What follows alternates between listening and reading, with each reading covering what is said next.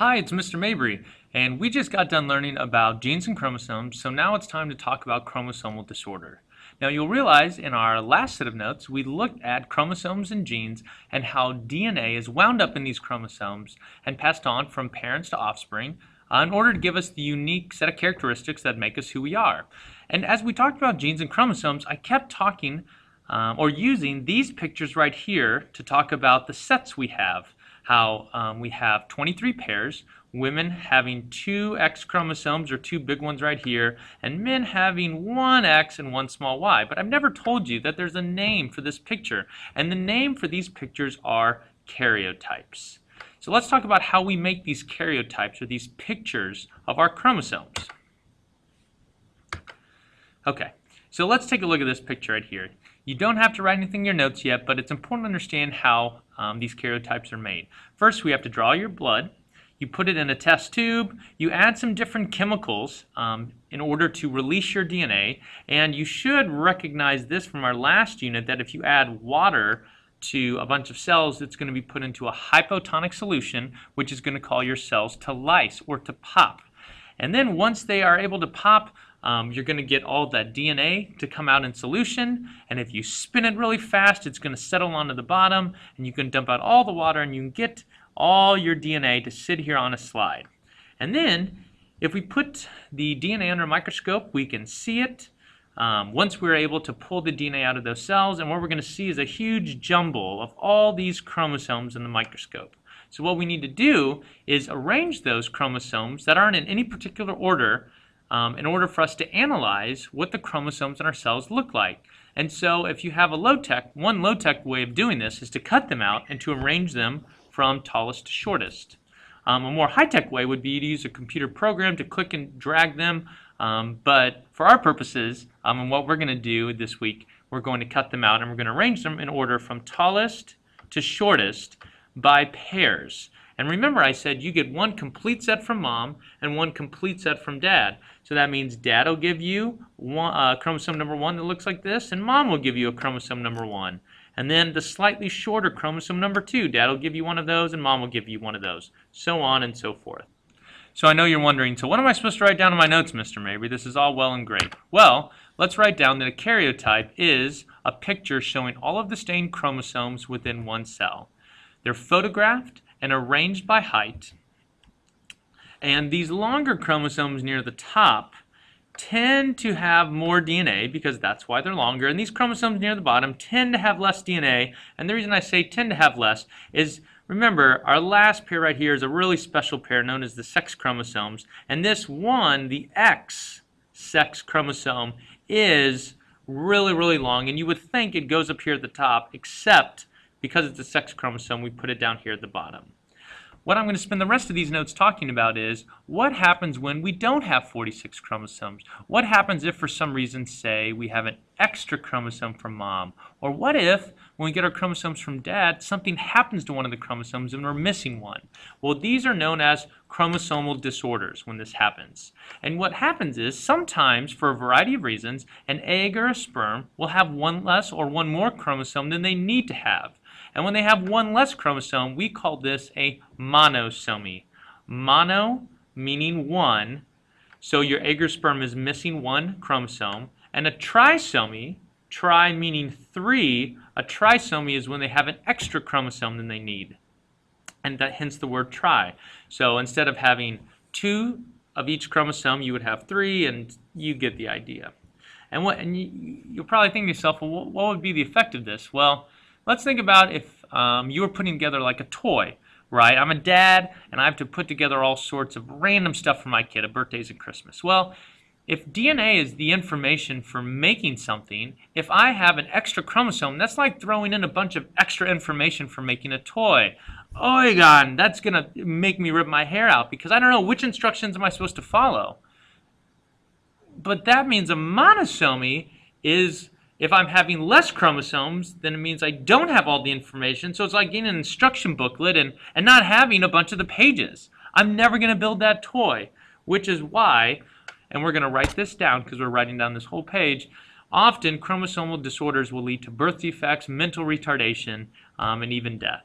And so what I'm going to do now is I'm going to post a series of slides, and you won't be writing anything for a while, but we're going to talk through where the disorder is and the effects of that disorder on children. And just to prepare you, there, there are going to be some sad stories ahead, but this is connecting science to real life, um, and it's going to impact you because you're going to probably be a parent one day, and you're going to want to know about these chromosomal disorders. So here we go, chromosomal disorder number one. Why don't you take three seconds, scan here, and see where is there something out of place in this karyotype. Let's see, one pair, two, three, four, five, normal, normal, normal. I'm seeing pairs, pairs, pair 13, 14, 15, pair 16, pair 17, pair... Wait a second. What do we have here? One, two, three. That's a trisomy. This disorder is known as trisomy. And what do we have here? Do we have a boy or a girl? Let's see. I have two X's. I have no Y's. That means I have a girl with trisomy 18. Now this trisomy is known as Edwards syndrome. Whoops, went ahead. Now, you don't have to write this information down. These were notes my high school biology students used to take, but just, just take it in real quick. Edwards syndrome. Almost every organ system is affected. One out of 3,000 babies who are born have this syndrome. However, 95% die in utero, in the uterus, which means um, unless there's an autopsy performed, we don't, we don't even know um, if they had Edwards syndrome. So that number is probably a lot higher. And if you are born, only 50% survive until um, they reach two months. There's a bunch of information. You can go on that um, website right here and check it out. Here is a little picture of a baby, just so you know what one looks like. Um, a born with Edwards syndrome, and you can already see the distended belly, um, the number of digits are off. You can just see from the formation of the fingers right here that there is something seriously wrong um, and really sad about um, children who are born with this disorder. Okay, let's, let's take a look at disorder number two. Um, now, you might be thinking, oh, what's wrong with these chromosomes? Well, remember, DNA, this karyotype was taken as the DNA was floating in the cell, so it's like I'm floating, I'm floating, and you took a picture of me and I was leaning over here. I'm floating, floating, and so the DNA, these, these are fine. These happen to be straight. These were sort of dancing and bending over, but nothing's wrong with it. But what's wrong is, oh, did you catch it over here? Look at that. So what do we have? Monosomy or trisomy? Trisomy. This um, disorder is known as Patau syndrome or trisomy 13 because it affects the 13 chromosome. Um, small head, small eyes, a cleft palate, rocker bottom feet. Do you see how the feet here curve on the bottom? Um, a lot of internal birth defects and a pretty um, low survival rate. Here's a story I found about a kid online a few years back. This was back in 2007. A mom is writing about um, her son Zion, you can see a feeding, a trach tube. I'm sorry, not a gastric tube, but a, um, a breathing tube right here. Um, feel free to read about that, but again, a really hard chromosomal disorder. Okay, chromosomal disorder number three. Where is it? Where is it? Where is it? Is it right here? Is it right? Oh, no, we're not missing an X chromosome because this is a boy. We have an X and a Y.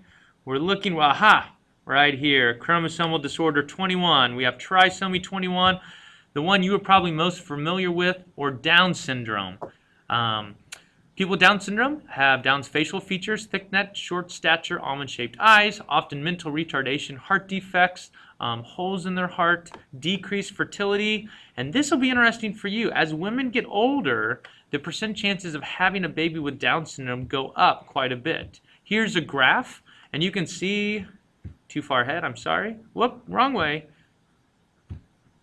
One more. Come on, computer. As women get older, older, older, oh, I'm 35, I'm 30, I'm 40, boom. The percent chance of getting Down syndrome starts to skyrocket compared to um, what it was earlier. Here's some pictures of individuals with Down syndrome. Um, you can, you know, facial features of people with Down syndrome tend to be similar. So if you've seen one person with Down syndrome, um, they, they appear to be related to other individuals with Down syndrome. And so that, that's one way to sort of tell. I have a lot of friends um, who have siblings with Down syndrome. I'm sure you do too. And now you know the basic for that condition. It's they have one extra chromosome. Okay, and then there's some um, famous sex chromosome disorders. This would be, wrong way, computer. This would be um, someone who has only one X, but not a second X. It's our only monosomy disorder, monosomy 23. Um, so this is for women. You can see there's a host of problem if you have this disorder known as Turner syndrome. There is triple X woman. Wow, she has an extra X chromosome. And what's interesting about this is you would never know. Um, because you are normal, you are healthy, you are fertile, the only way would know would be to get some sort of a blood test and have a karyotype performed. Um, this one, Klinefelter's, the question is, am I a guy or a girl? I have two X's, so it seems like I should be a girl, but that Y chromosome has that one little tiny gene near the top um, that's going to make me a male, but I will have some female characteristics.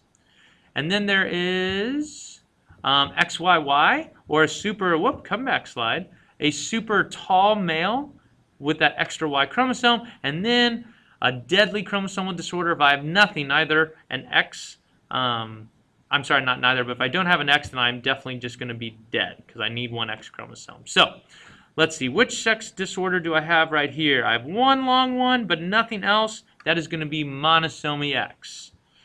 Uh, let's do the next one. Let's do the next one. Okay, here I have one X, two X's, and a Y. That's going to be that XXY disorder or Klinefelter's. Let's do one more for practice. Here again, I have one X, I don't have a second X, and I don't have a Y, so this is another karyotype of Turner syndrome, those monosomy X disorder. Okay, I know we haven't written down a lot for notes, but I hope you've appreciated the need to have that exact number of chromosomes in order not to have those different chromosomal disorders. So get ready, because the next thing we're doing in this class is um, performing a karyotype analysis where you're going to put a karyotype together for a child and research the specific disorder they have if it comes back with a number greater or less than 46. All right, get excited. Here we go.